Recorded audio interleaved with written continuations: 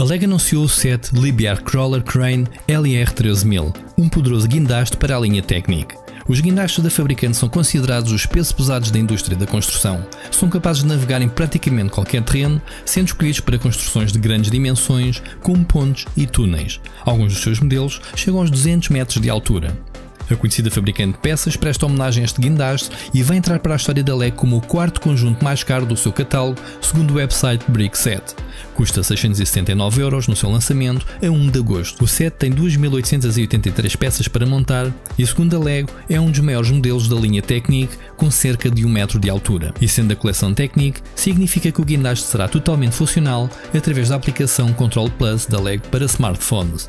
Pode mexer a direção, as lagartas e os ganchos através da app. Sem dúvida, uma prenda sonho para adultos.